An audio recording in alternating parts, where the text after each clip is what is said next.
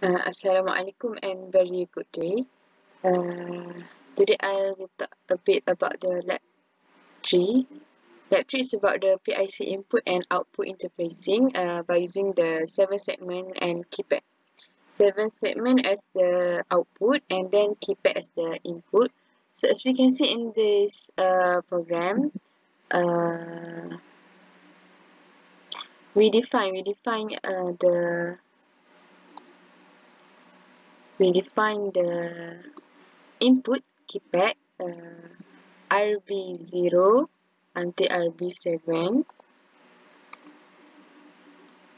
this RB0 until RB7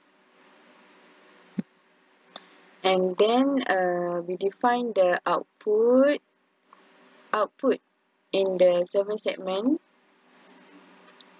RE0 and RE1 so and then when I'm running this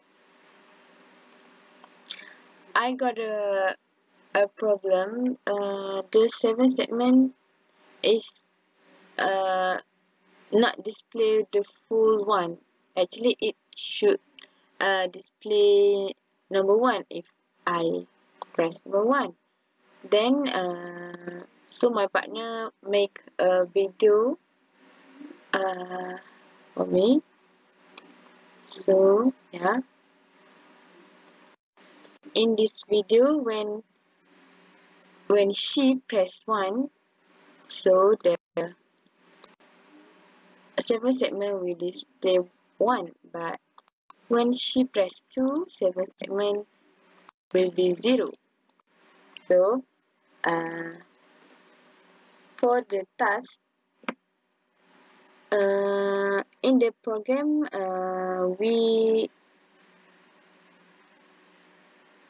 we control it to when press the odd number it will display the odd number on the 7 segment. And then if we and then if we uh, press the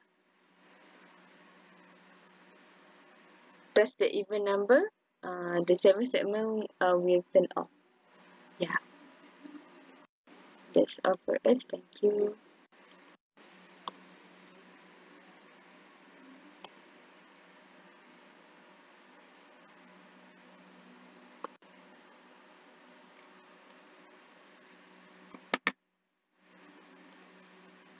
the same segment and then when the even number is displayed the keypad will turn off. Yeah